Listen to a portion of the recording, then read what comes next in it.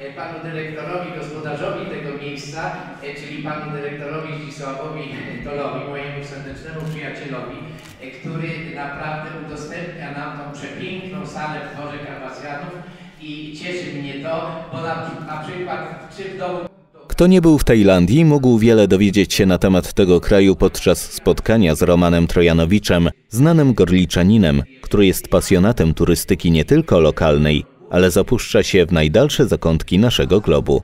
Podczas czwartkowego spotkania w Galerii Sztuki Dwory Karwacjanów i Gładyszów opowiadał o swojej wyprawie do Tajlandii. Prelekcja przygotowana była bardzo profesjonalnie.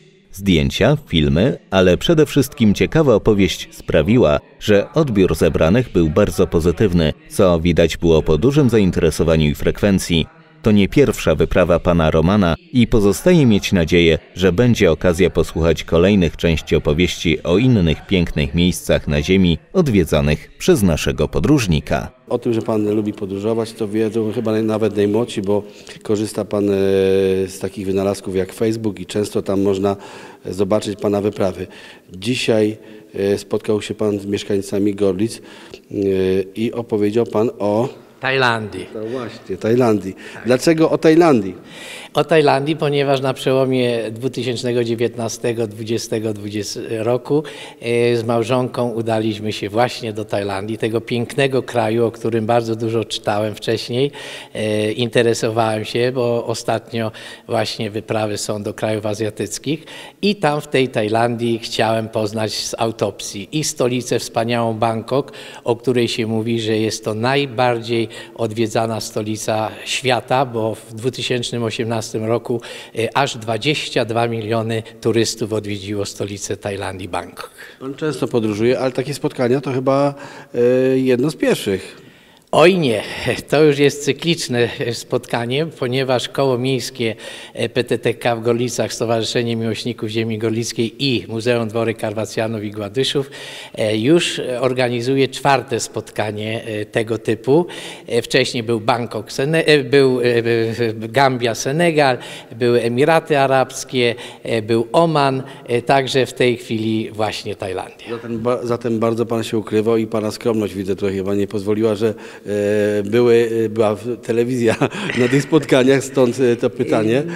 No możliwe, e, jakoś, jakoś no było nagłaśniane przez Muzeum Dwory Karwacjanów i Koło Miejskie PTTK, było nagłaśniane, bo było i w internecie i na naszej stronie i PTTK-owskiej stronie, no ale widocznie pan redaktor gdzieś widocznie zagubił. Umkło. e, Umkło i... Niemniej bardzo się cieszymy, że mogliśmy dzisiaj e, na jednej z pogadanek o Pana wyprawach uczestniczyć, ale stwierdzę też od razu, że m, bardzo pięknie Pan opowiada i m, mógłby Pan być no, m, takim redaktorem, podróżnikiem.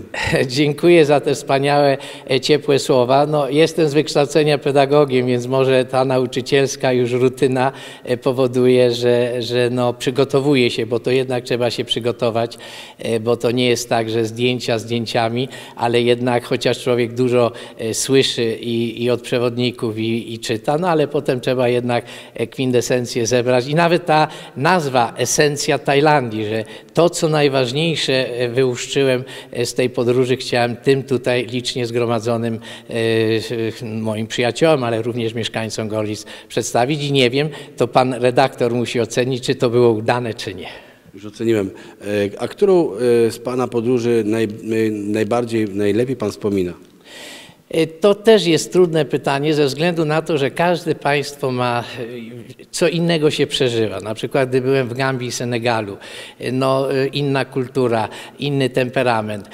Natomiast, natomiast no, ta Tajlandia mnie troszeczkę wzięła, ale proszę nie myśleć, że przez Pattaję, przez ten, przez ten seks turystykę, bo, bo faktycznie Pattaja, no to jak mówiłem, to jest, to jest miasto rozpusty, ale to jest pozostałość po wojskach amerykańskich, którzy tam przyjeżdżali na wypoczynek, e, prawda, do Pattayy, do tej małej miejscowości i stworzyło się teraz tak ogromne miasto, że blisko 120 tysięcy mieszkańców liczy. Widać, że mieli tam Amerykanie swój udział. Właśnie tak. E, Właśnie. I na koniec zapytam e, Pana, jaka najbliższa podróż? Planowałem, przyznam szczerze, na październik już miałem nawet e, rezerwację do Chin. no ale niestety koronawirus spowodowała, że się jednak boję, bo jak słyszę z przekazów medialnych, że to będzie troszkę trwało, więc, więc zrezygnowałem z tego planu i teraz tak myślę, może Meksyk.